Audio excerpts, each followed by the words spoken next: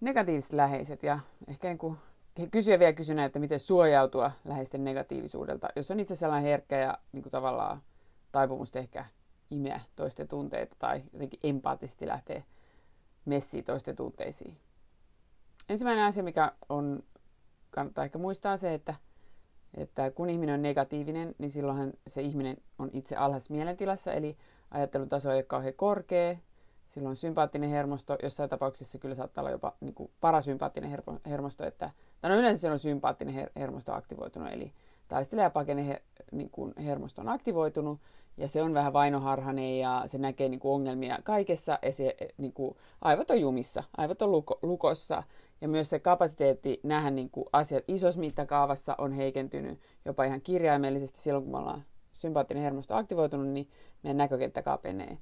Ja myös kapasiteetti löytää uusia ratkaisuja ja nähdä niin kuin asiat, että mikä niin kuin osaa arvioida paremmin, että mikä on hyvä, mikä on huono tai mikä on hyvä, mikä on parempi, niin tota, se on heikentynyt. Eli silloin kun sä katsot toista, joka siinä jotain nutisee ja rutisee, niin sä katsot ihmistä, jonka ajattelun taso on laskenut ja jonka ajattelu on tietyllä tavalla, niin kuin mä sanoin villipetotilassa.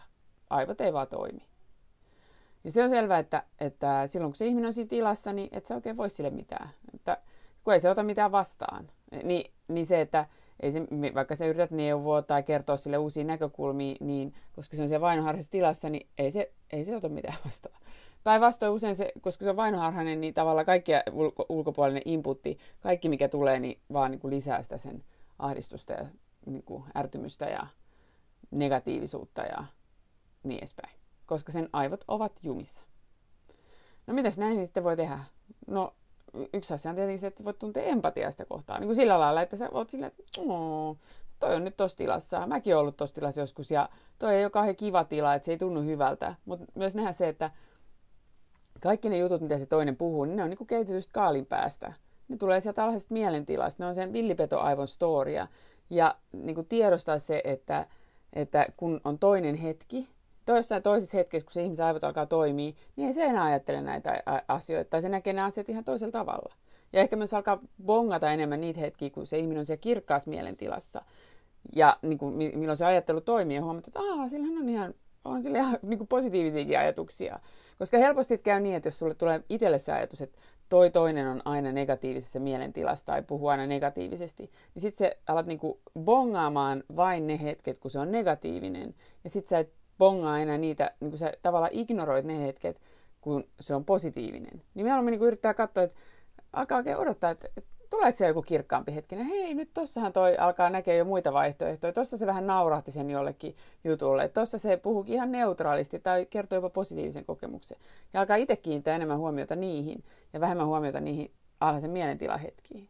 Mutta sitten sitä kautta tavallaan, kun sä kiinnität enemmän huomiota niihin positiivisiin hetkiin, niin sitten sä huomaat, että kyllä sillä ne vaihtelee, että ei se aina siellä negatiivisessa mielentilassa ole. Ei kukaan ole. Ei koskaan ole. Ja varsinkin mitä kauemmin oot niin kuin ihmisen kanssa, niin aina se tulee sieltä pois. No sitten toinen pointti on nähdä se, että, että vaikka susta tuntuu tosi todelta, että tämä toinen pakottaa mut nyt menee tähän alhaiseen mielentilaan, niin ei se voi pakottaa sua siihen menee. Kyllä sä itse, itse siihen niin kuin tavallaan, että su, silloin sun oma silloin sä itse menet sinne ää, niin kuin villipetotilaan, jostain syystä sun aivot romahtaa sinne. Mutta mä väitän, että on myös aikoja, jolloin tämä toinen tulee niin negatiivista juttuja sekaan, mutta sä oot nukkunut hyvin, sä oot hyvässä hapessa, ää, sä niin kuin, sit sä kuuntelet se juttu ja oot vaan että ah okei, okay, ja no mm, to, kurjalta kuulostaa, että aika, että tiedän itsekin silloin, kun vituttaa kaikki, niin kyllä ei se mitään kiva tunne ole. Ja varmaan itsekin vitutus, jos näin tapahtuisi. Jotain niin kuin tälleen, oot vaan silleen, että no joo, ja, tai ajattelet, että joo, okei, okay, mikävä juttu, hei, otat muuten ruokaa, annat ruokaa. Ja sitten vähän ajan päästä ihmisen niin kuin negatiivisuus taas niin kuin lakkaa, kun sä et lähde siihen messiin, sä et törkis, sörkis sitä, sä etkä härkis sitä, annat sen olla.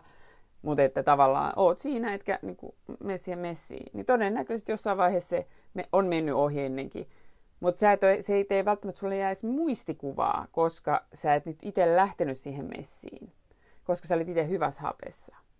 Ja muistaakseni kerroin jossain täällä, että, että tai jossakin ainakin kerroin siitä, että, että mulla oli niin äsken tämä tilanne, jossa mä en ollut hyvässä haapeessa. Mä tulin, ja si, siitä päästään sitten siihen tokaan vinkkiin, eli, eli, eli tai hetken olisiko tämä jo kolmas vinkki, että kyllä se pystyy omalla hengitä, hengittämisellä pystyy yrittää säädellä sitä omaa hermostoaan, eli, eli syvään hengittämällä pystyt tavallaan niin kuin pushaamaan omaa hermostoa enemmän sinne lepä- ja sulattele tilaan, missä siis parasympaattinen hermosto on aktivoitunut. Eli syvä, hengittämällä syvään ja mieluummin vielä vähän epätahti, eli pitkää ulos, lyhyen sisään. Ja äskettäin olin tilanteessa, jossa jouduttiin istua niin kuin puolitoista tuntia autossa ja mä ajoin ja olin huonossa hapessa. Olin nukkunut todella huonosti kaksi yötä ja niin oli sitten ne muutkin autosolijat ja oli tota, olin juonut alkoholia ja niin kuin, oli pitkä päivä takana ja ADHD-lääkkeet ei enää oikein kauhean hyvin toiminut. Ja sitten siinä niin kuin, toiset alkaa siellä autossa rutista. Tietenkin kun on ollut pitkä matka, niin kyllä mä tunnin, mä pystyn hengityksellä. Ja niin kuin koko ajan tunsin, että nyt meinaa lähteä itse se niin kuin, a, sympaattinen hermosto aktivoituu, alhainen mielentila lähtee päälle. Mutta hengit, mä vaan että ei, nyt mä vaan hengittelen. Tunnin mä jaksoin hengitellä. Sitten mulla tuli se ajatus, että nyt että niin, mutta hetkinen, että jos mä en nyt lähde messiin tähän tunteeseen, että jos mä niin kuin koko ajan vaan pysyn rauhallisena, niin sitten ei ehkä ikinä lakkaa. Ja se oli se virheajatus. Sitten sit mä, niin kuin vaan, sit mä valitsin tavallaan olla hengittämättä, kun mä, sit mä annoin itselleni luvan suuttua, kun mä ajattelin, että jos se suuttuminen saisi se rutinan lakkaa, kun musta tuntuu, että eikö tämä rutina ikinä lakkaa. Ja se oli virhe, että siitä mä sitten opin, kirjoitin itselle oikein muisti, että ensi kerralla kun olet vastaavassa tilanteessa, niin älä anna periksi sille ajatukselle, että niin, mutta pitäisikö mun vaan nyt antaa itselleni lupa lähteä messiin tähän, niin kuin itse raivostuu tai hermostuu tai, tai niin kuin mennä sinne huonoon fiilikseen, että jos se sitten taas saisi sen toisen muut, käytöksen muuttuu, niin ei se, sehän vaan pahensa asiaa, että mä itse menin sinne alhaiseen mielentilaan messiin, niin tota, sitten tähän homma vasta karkaskin käsistä. Että järkevämpää olisi ollut vaan hengitellä koko matka himaa asti sille pitää itsensä rauhallisena ja sitten muut rutisijat olisi siellä sitten saanut hävetä päästään. Tai sitten ne olisi saanut varmaan mennyt ohi. Ja tavallaan se, että, että tota, mm. mutta että, että niin kuin, ehkä se niin kuin iso ongelma juuri on se, että, että nyt sulla on tullut, jos on tullut jo mieleen sellainen ajatus, että, että mä, sä uskot todeksi ajatuksen, että mä olen herkkä ihminen, johon toisten tunteet tarttuu kauhean yliherkästi, niin sitten sä alat helposti niin toteuttaa, siitä tulee itseään toteuttava profetia. Kun sen sijaan, jos sä ajattelisit sitä, että mm, no joo, että ehkä mä annan itselleni helpommin luvan, tai jos mä en ole niin tiedo, tietoinen, niin saatan niin kuin ajautua jotenkin siihen messiin, mutta et en mä ole mitenkään toisten tunteiden armolla. Että kyllä mä voin oikeasti pitää sen, pitämään tietenkin ylipäätään hyvää huolta omasta neurologiastani, mutta et myös se, että, että niin kuin esimerkiksi just hengittämällä ja rauhoittumalla ja niin kuin tunnistamaan sen, että mitä siinä tilanteessa tapahtuu. Että toi on alhais mielentilas. Mulla meinaa lähteä, mäkin, munkin oma järjestelmä syystä tai toista meinaa lähteä alhaiseen mielentilaan, mutta ei mun ole pakko mennä sitä, ei mun ole pakko seurata sitä sinne. Ni, niin tota, että kyllä mä voin, voin antaa itseni luvan pysyä ihan rauhallisena ja hengitellä vaan ja juoda vettä ja, ja niin kuin luottaa siihen, että, että kyllä se toisenkin alhainen mielentila menee ohi, että ei mun tarvitse sitä ratkaista eikä hoitaa eikä korjata niin kuin, eikä ne, niin kuin, ei mun tavallaan tarvitse ratkoa eikä välttämättä korjata sitä omaakaan alhaista mielentilaa. Ja sitten tietenkin toki, että, että jos sä mietit, että kuinka monta tuntia sulla on päivässä tai minuuttia sulla on päivässä käytössä, niin tietenkin, että jos sä oot jatkuvasti ihmisten kanssa tekemisissä, jotka on niin kuin paljon toimii, koska on ihmisiä, jotka toimii paljon alhaisesta mielentilasta käsiä ja itse pitkittää niitä alhaista mielentilaa, niin tietenkin sä voit miettiä, että haluanko mä mun interaktioista, vuorovaikutushetkistä, joita nyt tässä päivän aikana on vaikka viisi tai neljä tai vaikka vain se kaksi, kolme, niin haluanko mä, että se on, valtaosa on sellaisen ihmisen kanssa, joka on koko ajan villipetotilassa tai paljon villipetotilassa.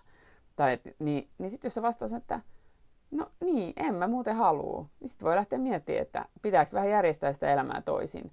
Ja niin kuin, että kyllä sä saat valita. Ei mun, ei, kyllä mä oon sitä mieltä, että tämä on sun elämä, tämä on todennäköisesti ainoa elämä, ainakin sinä ihmisenä, joka tässä hetkessä nyt oot, niin, niin tota, tai joka olet tässä elämässä, niin, niin tota, kyllä meillä on myös oikeus valita, että mihin se meidän aika täällä planeetalla käy, kuluu ja kä- mihin me käytetään.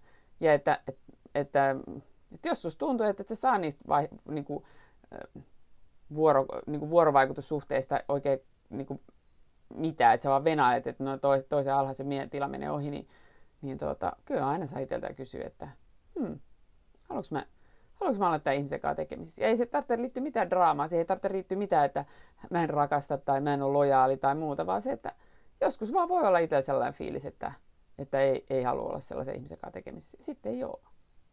Mun täytyy sanoa, että mulla on kyllä ihmisiä, että, jotka soittelee mulle usein silloin, kun niillä on paska fiilis ja ne on oikein negatiivisia näin.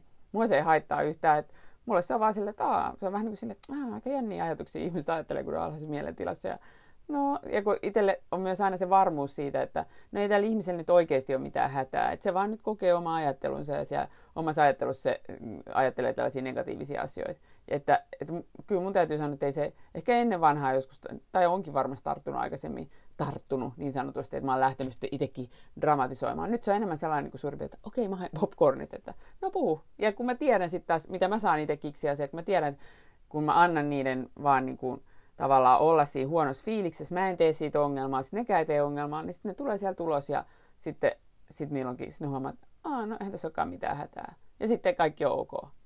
Ja että mä saan siitä kiksejä, mutta ymmärrän, että ei kaikki saa siitä kiksejä, eikä sun tarvitse siitä saada kiksejä. Mutta toivon, että tästä on nyt jotain hyötyä ja kiitän, että katsoitte ja tosiaan kutri.net, sieltä voi laittaa niitä toiveita ja mm, jos haluaa katsoa, mulla on YouTubessakin jotain videoita, itse asiassa nykyään laittelen päivän teoriatkin sinne, niin ne löytyy osoitteesta youtube.com kautta Katri Manninen Kutrinet, kaikki, hups, kaikki yhteen. Ja jos haluat katsoa nämä mun päivän teoriat livenä Facebookissa tai katsoa, sieltä löytyy sitten hirveä niin kuin, parin vuoden ajalta jo näitä, näitä lähetyksiä, niin äh, facebook.com kautta kutrinet kautta videos, niin sieltä löytyy ne videot ja Facebook, facebook.com kautta kutrinet, sieltä sitten löytyy nämä, nämä niin kuin päivän teorialähetykset. Jos sä otat, siellä on semmoinen vaihtoehto, että sä voit niin kuin valita ja show first tai näytä ensin niin kuin ilmoitukset, niin sit sä saat myös tiedon aina, kun tulee uusi päivän teoria. Mutta joo, kiitos, että katsoit ja oikein hyvää vappupäivää, jos saatat katsoa just vappupäivänä. Moikka!